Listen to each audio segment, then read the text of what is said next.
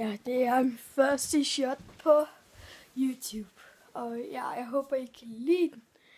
Og um, ja, det her synes jeg er sådan en tutorial, der man gør og alt det.